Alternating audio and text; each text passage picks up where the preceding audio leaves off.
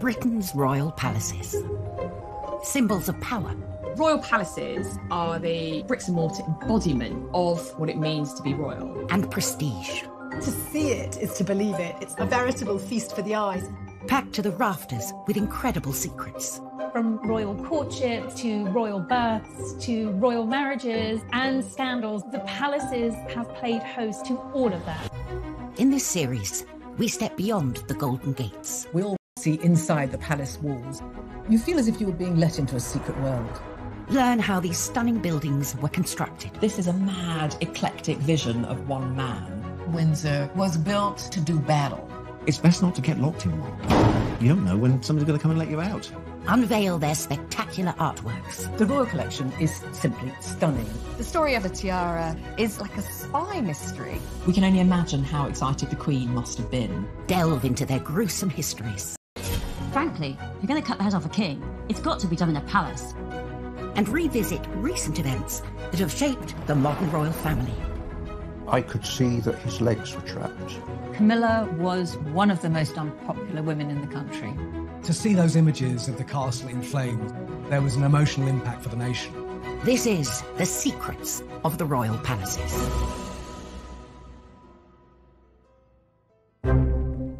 This time, we behind the scenes with the builder who took on one of the most complex renovation jobs in the Windsor Castle restoration. We got two draftsmen drawing for the best part of a year before we even started to make anything. Get an inside look at the residents accommodating an ever growing royal family, Kensington Palace. It was a very neat house once upon a time, but when monarchy got hold of it, they turned it into something of an architectural monster. Uncover the secrets sewn into the Queen's most iconic outfit. Hartnell actually added a wonderful secret detail, which is a little four-leaf shamrock.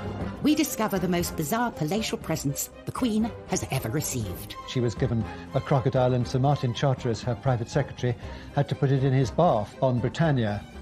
And we reveal the castle with the 16th century murder mystery that went horribly wrong. It was going to be the perfect crime. Kill Darnley, blow up his house, no one will be any the wiser.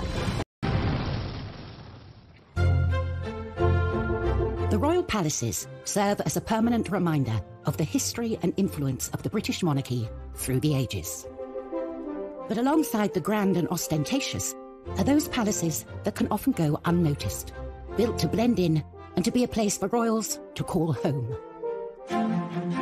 Across Hyde Park, some two miles west Kensington Palace is big and it's old and it's rambling and it's got lots of apartments and houses there, and it's perfect for the royal family. The Queen's got a lot of cousins, and she needs to house them. Royals have occupied Kensington Palace for over three centuries, and various generations have extended it to suit their needs. Architecturally, it's a bit of a mess. It's not the kind of unified vision that most palaces aspire to be. It was a very neat house once upon a time, but when monarchy got hold of it, they turned it into something of an architectural monster. Its first royal inhabitants were William and Mary. As a result of the Glorious Revolution of 1688, they'd been invited from the Netherlands to replace the Catholic James II. They needed a new palace, but they needed it built quick and cheap. As a new king and queen, they didn't want to start building with great ostentation a project that would take years when their essential job was to control the nation and persuade of the quality of their governance. Get it up, get it done, and let's get on with the business of running the country. They bought Nottingham House, a small villa in what was then the suburb of Kensington, and hired the most celebrated architect of the day, Sir Christopher Wren, to transform it into a palace. But Wren wasn't known for speed. His masterpiece, St. Paul's Cathedral, was only halfway through its 35 year building programme. William and Mary wanted their palace in six months. Mary wanted a palace to be built around that old house by Christmas. This was a phenomenal task to ask of Christopher Wren and all his collaborators. It was a bit of a bodge job, really. It was about trying to extend and build on what was already there and do so very, very quickly. With such a tight deadline, the builders cut corners. Kensington is notoriously badly built. It's had a whole series of uh, structural uh, props and failures, and uh, Wren's masons just threw it up too quick. Five months into the project, these shortcuts led to tragedy. A vault collapsed, crushing a carpenter. And to have someone who's dead because of your design and workmanship, it racked Wren. He was found with his head in his hands in St. Paul's Cathedral. Mary then stepped in and said, My fault. To have a monarch feel responsible for deaths because of your building project is quite extraordinary. Rather pitifully, we know she wrote to William and said, It showed me the hand of God plainly in it, and I was truly humbled. But there is a ruthless side to every queen, I think, because they were still in the new build by Christmas. Months. Wren had not only hit his deadline, but also his budget, thanks to a rather unregal building material. It was built in brick, which was sort of unfashionable material at the time. It's quite plain in its architecture. Parts of it just look like a street rather than a palace with, you know, long facades like any London street of the time. It's a bizarre building in many ways. Whilst Kensington Palace is home to young royals like William and Kate and their family, home for the Queen means Windsor. I think probably more than anywhere else, it is her home. This is where she's spent a huge amount of her childhood, adolescence, and now it is her haven. But at 11:30 a.m. on the 20th of November 1992, the Queen's lifelong home was thrown into chaos when a small fire started in her private chapel in the northern corner of the castle. Windsor Castle was being rewired, and there was a light which caught one of the heavy curtains and went up in flames immediately. And within minutes, the blaze had taken hold. In total, 225 firefighters were called to the scene, with 36 vehicles battling to save the palace. It could be seen for miles and miles around, and of course, it seemed like there was a symbol of the monarchy burning. To see it in flames, I think, did have a, an emotional impact for many people in the UK. And no one felt that impact more than the Queen herself. The Queen was at Buckingham Palace and she was informed about the fire, and she got to Windsor as soon as she possibly could. She arrived to find the palace she calls home burning out of control. It was clear to see that it was very distressing for her, watching the fire sweeping through and people desperately trying to tackle the blaze.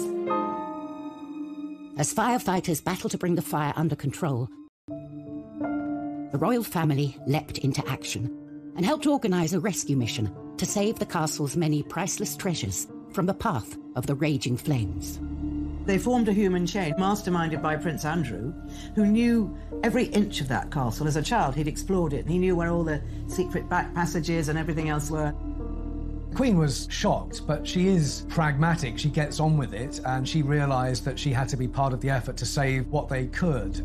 And they did. The royal family were part of the chain there to get stuff out. We can reveal that in the end, only two works of art were lost in the fire. The blaze took 15 hours to bring under control. What had started as a small electrical void, the iconic St. George's Hall. In total, 115 rooms had been completely destroyed. It was so dramatic and so terribly sad. And the next day, the Queen surveyed the ruins, and as she walked through the charred remains of some of her possessions, she seemed like a little old lady, you know, who had lost something so treasured to her. Despite the devastation, the plan to rebuild started straight away. There was a competition for the redesign, won by a firm of architects who worked with oak specialists, Venables Brothers. We'd got two draftsmen drawing for the best part of a year before we even started to make anything. Initial reports suggested repairs would cost up to £60 million and it could take 10 years for the castle to dry out. Once you've got the job, you realise the size of the task that you've undertaken. And the question of exactly what form the reconstruction would take involved some controversial decisions. The Queen and the Duke of Edinburgh really were in charge of the restoration. They had a dilemma. Do they try and restore rooms back to exactly how they were? Could they even afford that? Or do they do something different? My blood pressure went up and I think I went grey in the process. Coming up on Secrets of the Royal Palaces, we reveal the secrets of the Tudor toilet. Going to the loo with Henry VIII was the top job in the Tudor court. And we go behind the scenes of the greatest historic building project ever attempted in 20th century Britain. The design that they came up with was absolutely stunning and probably the most complicated piece of oak joinery we've ever been involved in.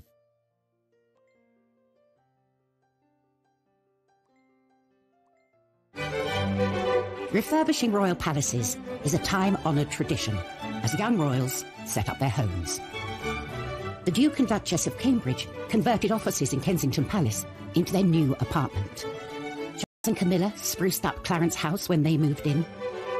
And Meghan and Harry reportedly spent £2.4 million overhauling Frogmore Cottage. But these renovations pale in comparison to the monumental task that faced the royals at Windsor Castle. In November 1992, a devastating fire ripped through Windsor Castle, destroying more than 100 rooms. From the ashes came a radical plan to rebuild the castle, plan the royal family would personally take charge of. There was a restoration committee headed by Prince Philip, who was extremely good at organising. The centre of the devastating fire, the Royal Chapel. It had been completely destroyed, but rather than rebuild it, they came up with a whole new concept the octagonal lantern lobby. Chuck Venables and his brother were the oak specialists chosen to take on the job. The design that they came up with was absolutely stunning and probably the most complicated piece of oak joinery we've ever been involved in.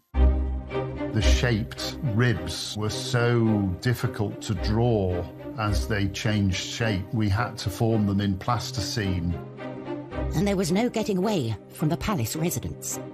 Prince Philip has always been very keen on design and he's extremely artistic. I'm sure he had plenty to say. I remember the first time I met Prince Philip on site. It was very pleasing to talk to him and see that he understood what we were doing and wanted to make sure that it was put back properly. After 18 months of hard work on the lantern lobby, all that remained to be fitted was the pièce de résistance, the lantern itself. For Chuck, this was a heart in mouth moment. We'd never actually got the chance to check that the lantern or the lid would fit onto the roof, so we were all very, very nervous. To add to the pressure, the boss decided to check on their progress. The Queen opened a window and started to watch what was going on. So, of course, everybody was absolutely petrified. Finally, we got the message to say that it fitted. The room had completely transformed, but the royal family wanted to mark the site where the terrible fire had started. Prince Philip left his own mark on the new lobby. Some of the stained glass windows in the chapel were designed by Prince Philip and they depict some of the happening of the fire into the new fabric of the castle. A permanent reminder of the fire, forever etched into the historic building. As well as the creation of the lantern all the staterooms have been carefully restored to their former glory. I think the restoration work at Windsor Castle has been done really well. The detail and the intricacy of the work is, is plain to see. Only five years to the day of the fire, the castle was reopened with a lavish ceremony. Reconstruction costs had come in at just over half the initial estimate. For recognition of their work, and his brother were invited to attend. The Queen walked straight up to them and say how much she loved the restoration work. This wasn't just about restoring the Queen's home, it was about preserving the heritage of this country in many ways. When you look at the pictures of what it was like after the fire and how it looks now, I think the restoration there has been fantastic.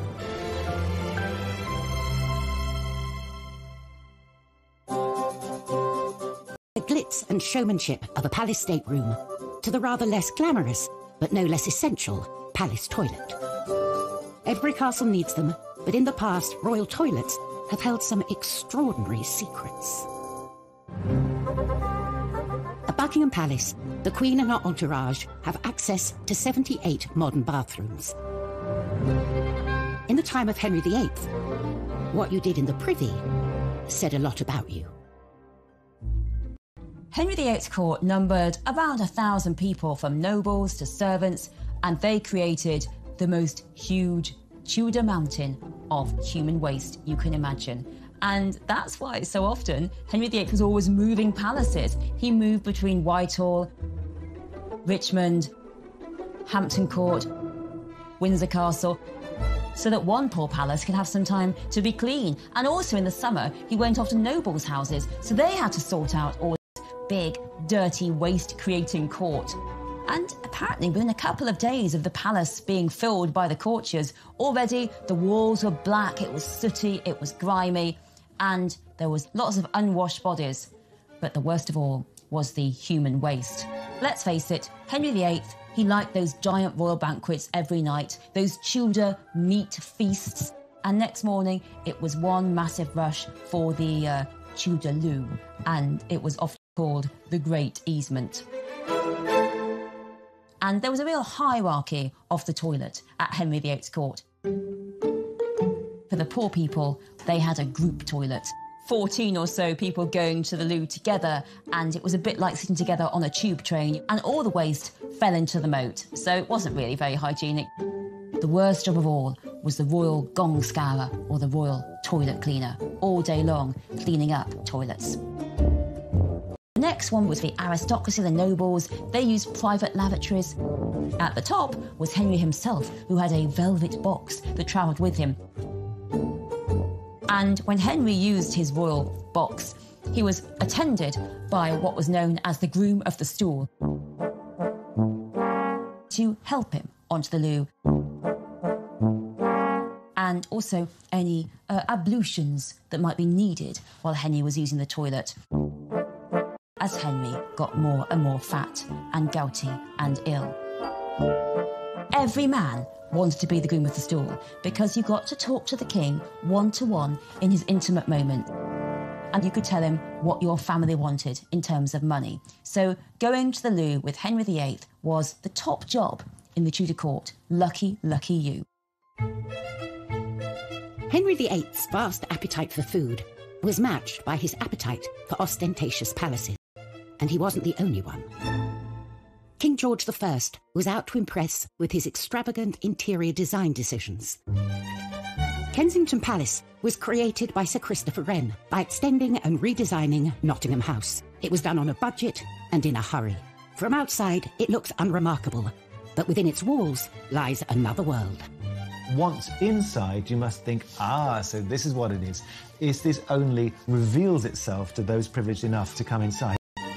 It is a hidden labyrinth of diverse and, on occasion, wonderful rooms.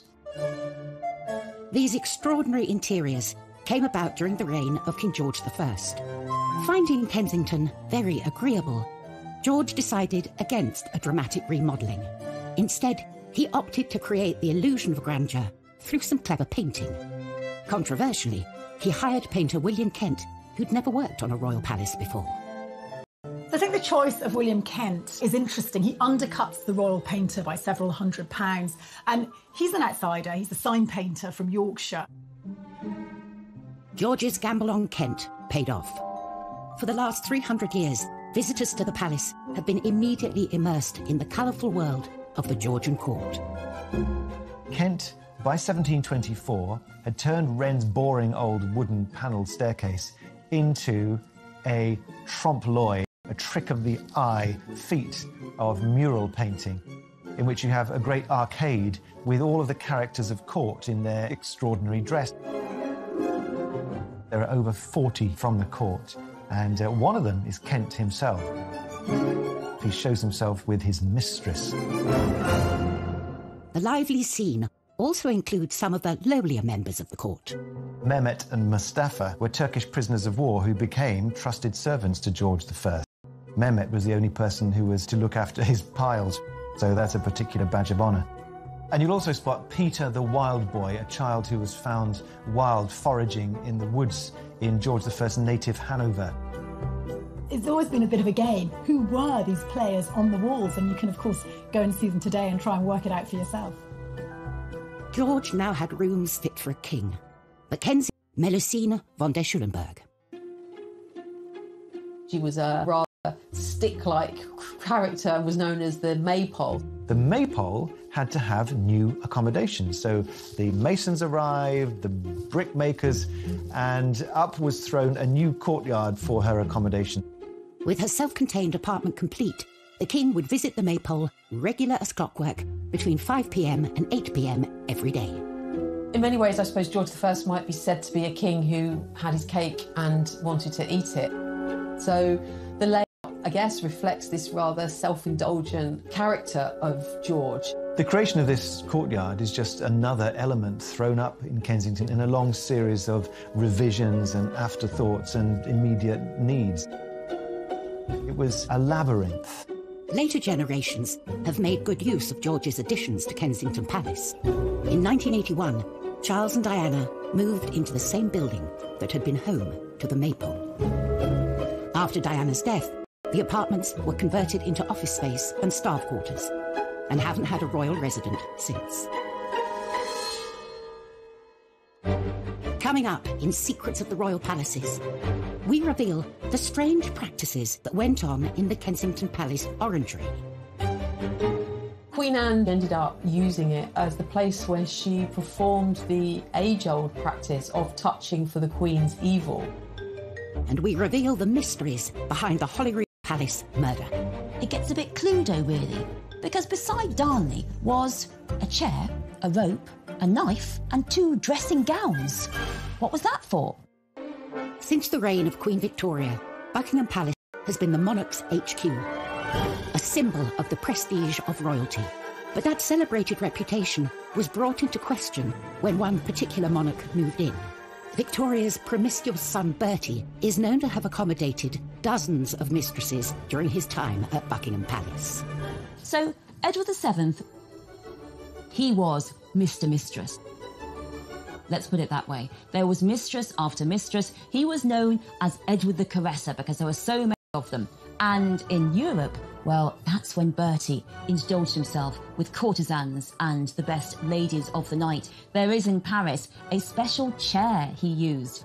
It's the weirdest looking thing you can imagine. You to look at it thinking, how on earth did he use that?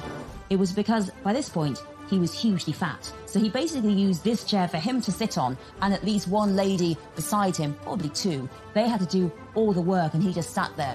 The Playboy Prince of Wales became king in 1901 and took up his position at the grand and sophisticated Buckingham Palace.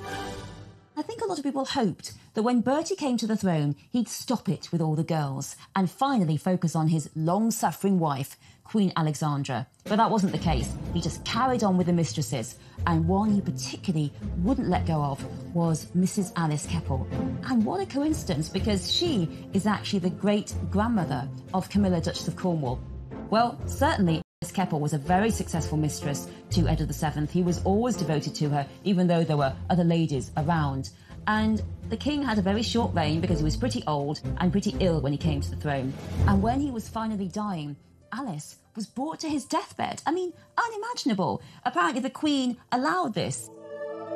The deathbed at Buckingham Palace should be so dignified, so solemn. And Alice gets hysterical, shouting, What's going to become of me? Me! And gets hustled away because of all the hysteria. I think the biggest rebellion Edward VII could ever make against Victoria and her vision of the moral monarchy was to have his mistress at his deathbed in Buckingham Palace. On from one monarch to the next. With so many palaces to their name, it's up to the monarch to decide who lives in them. There's one palace that's proved incredibly popular with the family and houses more royals within its walls than any other. Kensington Palace. For over 300 years, it's been something of a royal housing estate. A Kensington Palace is, is one of the most populated palaces and also one of the most popular palaces with the royals. You've got the Cambridges at apartment 1A, Princess Eugenie and her husband Jack Brooksbank there, and the Gloucesters. I mean, the royals are very much packed in to Kensington Palace. It's like a little royal village in the centre of Kensington. Over the centuries, The palace has been altered to accommodate the extended royal family. But its most impressive building wasn't built for a royal. Its purpose was to grow fruit trees in. The orangery was commissioned by Queen Anne in 1704. It was all about housing her exotic plants, in particular her citrus trees. She was very worried that they were going to get frostbite. But you know, being a queen, she didn't just stick up a greenhouse. Anne instructed that her orangery should be both functional and beautiful. What she managed to achieve there was something harmonious, beautifully organized, very clearly functional, purposeful. It had ducts made of brick underneath the floor so that hot air would be swept in and would allow these oranges and citrus to grow throughout the winter. The interior had fine plasterwork, the exterior, very beautifully modelled brickworks. It's a building designed to be seen. Costs for the orangery more than doubled during construction. Inside, elaborate decorations were created by celebrated woodcarver Grinling Gibbons. To see it is to believe it. It's absolutely delightful. It's a, a veritable feast for the eyes. So lovely was Queen Anne's new orangery that she found it too good to use only for gardening. She ended up using it as a ballroom and also as the place where she performed the age old practice of touching for the Queen's evil. The Queen's evil was a name given to a disease called scrofula, which affects the lymph glands, and it, you have a swollen neck. That's the main symptom. And it's thought that it could be cured by contact with uh, monarchs uh, because they are God's appointed on earth. The orangery presented the perfect location for Anne to meet with the sick without inviting them into her home. You can actually go present yourself with your ailment, and she would, you know, heal you, make you better simply by being a queen and touching you. The Hanoverian monarchs that followed Anne had little interest in curing the sick. They turned the orangery into a party venue, which it still is to this heiress Nicky Hilton holding her wedding reception there. The Palace Orangery is as fashionable as it ever was. From parties to the young royals choosing to make Kensington their home, it's a palace that will be forever linked with the trendy and chic side of royal life other royal palaces, their reputations have been forged out of dark and sinister secrets. Holyrood Palace in Edinburgh is stained by the turbulent reign of Mary Queen of Scots. 1567, the 10th of February, there is the biggest murder mystery in Scottish royal history. Central to this whodunit is Lord Darnley, Mary's deceitful and often estranged second husband. Lord Darnley is recuperating from an illness, possibly this. He's in a house just by the city walls, and late one night there was a massive explosion. This huge explosion that rocked all Edinburgh woke Mary up in Holyrood House, and Darnley's house had been entirely blown up. It was going to be the perfect crime. Kill Darnley, blow up his house, no one would be any the wiser. But Darnley managed to escape. And there's an amazing map drawn by the spies at the time show you exactly what happened. Darnley managed to get away to the nearby orchard, and there he is found dead with his servant. And now it gets a bit Cluedo, really. Because beside Darnley was a chair, a rope, a knife, and two dressing gowns. What was that for? Well, what we think happened is that Darnley heard the baddies coming to kill him, and he used the rope and the chair to get out of the window dagger with him to stab and the dressing gown because he was just wearing his nightshirt, as was his servant. So, you know, you want to be a bit more dressed when you're fighting off some baddies. But the ruffians were too quick for him. They smothered him and his servant in the orchard, and then they all ran off. Mary Queen of Scots was herself suspected of the crime. Years later, the murder of Darnley was still being blamed on inhabitants of Holyrood house. During the Victorian period, the maids said to visitors that there was a Darnley bloodstain, and they used to charge visitors a couple of pennies to go and look at this Darnley bloodstain, but actually, they'd put it on themselves. So if you ever go to Holyrood House and you're offered a chance to see the Darnley bloodstain, it's going to be made out of red food colouring. Tourists still flock to Holyrood today for a closer look at the palace's fascinating secrets. 400 miles south of Buckingham Palace, the Grand Statement, a chance to witness firsthand the iconic riches housed within. Clothing is such an important part of the major events in our lives, and when it's done well, it communicates everything that is really important at that precise moment to the wearer and to the occasion. The 2nd of June, 1953, Elizabeth II's coronation.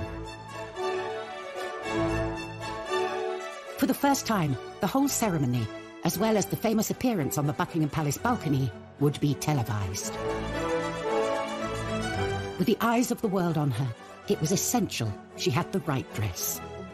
A dress so special, it would have secrets sewn into its very fabric.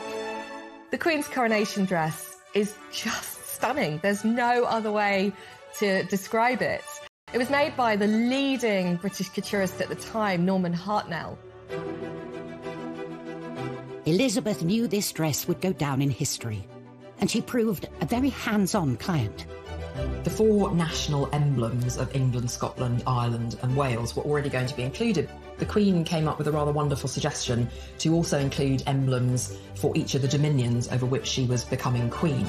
You can make out the maple leaf of Canada, the wattle of Australia. You can see the lotus flower of India, and then the wheat sheaves of Pakistan. The whole dress becomes a true symbol of the reach of Queen Elizabeth II. Hartnell loved the young Queen's ideas, but they didn't see eye to eye on everything. Originally, Hartnell represented Wales with the emblem of the daffodil, and he was slightly put out when he was asked to replace it with the rather less glamorous but more official Welsh symbol of the leek. Despite the Queen's attention to detail, there was one secret that Hartnell managed to sneak past her. Unknown to the Queen, Hartnell actually added a wonderful secret detail, which was a little four leaf shamrock which he placed on her left skirt, just underneath where her hand would be resting in the ceremony. A secret message from the designer to the Queen on the dress that would be immortalised as part of the coronation ceremony. And the day would be complete when Elizabeth II stepped out onto the famous Buckingham Palace balcony to wave to a mall packed with her subjects. The glitter, the glamour, just the pure historicity of it all must have been magnificent. The dress is now part of the royal collection displayed at Buckingham Palace, a palace so integral to its story. Coming up on Secrets of the Royal Palaces, step inside the top secret dressing rooms of Elizabeth I. These were her secret spaces where the makeup went housed within the palaces. The gift was a massive six foot long grasshopper made by the French surrealist artist Francois Xavier Lalanne. Throughout history, royal palaces have been the site of official ceremonies and royal duties. But when the crowds depart and the cameras turn off, it's a different story. They become spaces where the monarch can put their feet up and truly be themselves. Space one particular queen would have been very grateful for. Elizabeth I, she's one of our most recognisable English monarchs. Bright red hair, this white skin, extravagantly dressed. Her image was so vital to her. She knew that people had to see the Queen as majestic, as perfect, as healthy. Because if the Queen wasn't beautiful and healthy, it was thought that the kingdom wouldn't be beautiful and healthy. Protecting and preserving the regal image of the Queen became a top secret operation. Her palaces on the Thames, Windsor, Hampton Court, Richmond, Whitehall, whichever palace the Queen was holding court at, she had a suite of rooms called the Privy Lodgings, each more secluded from the court than the last. These were her secret spaces where the dress, where the makeup went on, and no man could go. Only her private ladies went with her and they helped her with her makeup. The secret of what lay behind Elizabeth I's incredible image was one not to be revealed. Elizabeth's makeup was incredibly toxic. You know, it would be completely illegal today. What she used to use to whiten the skin as a kind of face mask came from what's known as Venetian ceruse made of lead and vinegar. And on top of this, she wore a rouge, which was lead carbonate and lead hydroxide. And then she had these lipsticks made from ground alabaster. So she was ingesting all this toxic material through the skin. And we know now that these caused all kind of side effects, digestive effects, insomnia, uh, headaches, and respiratory problems. She died aged 69, and I do wonder whether some of it hastened her death and made it more painful.